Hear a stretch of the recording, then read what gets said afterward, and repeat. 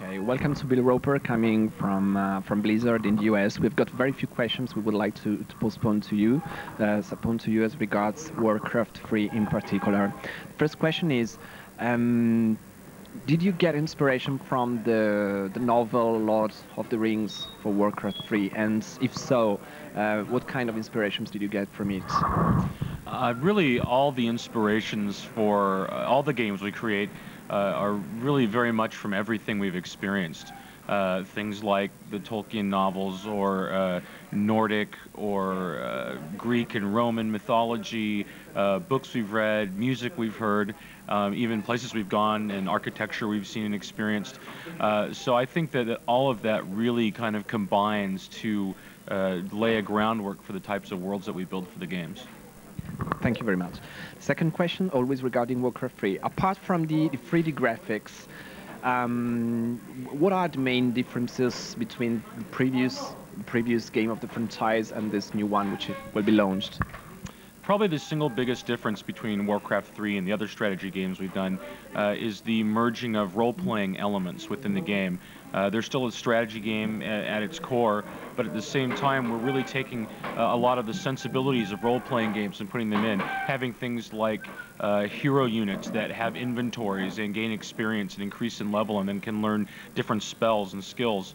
Uh, the way that we have uh, the game interacting with the world, uh, much less of a focus on resource management, management much more of uh, going out and exploring and uh, really gaining knowledge and experience with your units by going out and actually interacting with the world. I think those are very, very major differences between Warcraft 3 and, and, the other games we've done.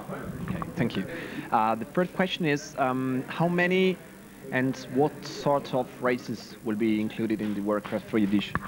There's four races in Warcraft 3, uh, orcs, humans, night elves, and undead. And they're all very, very different in the way they play, very similar to StarCraft in that uh, each race has its own specific strategies and tactics that you'll need to employ to be successful. Um, next question is, um, why, in your opinion, young people uh, should buy Warcraft 3?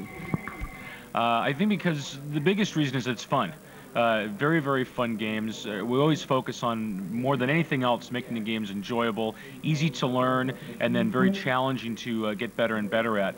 And uh, we have fans from 9 to 90 that play the games. And uh, it's really exciting to watch people start learning how to play the game, and then as they play more and more, get better and better, and, and the whole time a big smile on their face and having a great time. So if there's one single reason to buy it, it's because it's incredibly fun. So it's a game for everybody, not only for, for young people.